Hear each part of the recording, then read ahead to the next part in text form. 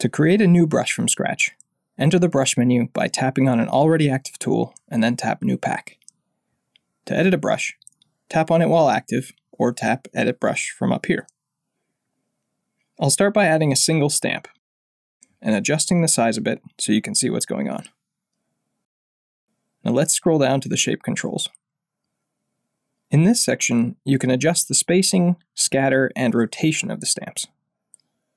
By default, the setting is 30% spacing between stamps, as in general, the denser the spacing, the lower the performance.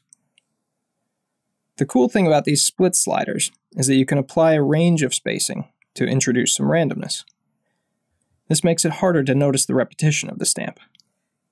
For uniform spacing, push half of the slider against the other. The values can be typed in as well with a tap and hold directly on the value. Shape spacing also comes with a variance graph. This allows you to harness the stylus pressure, tilt, and velocity inputs to affect spacing. Applying light pressure in the brush preview highlights the start of the graph, heavy pressure highlights the end of it, and varying pressure will cover most of it.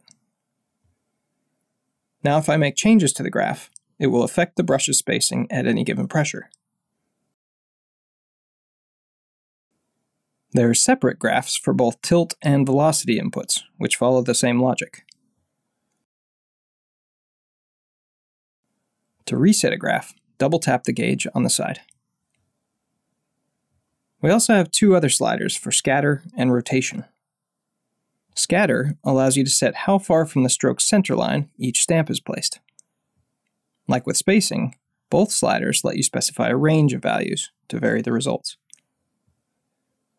Rotation is essentially the angle of your stamp relative to the stylus.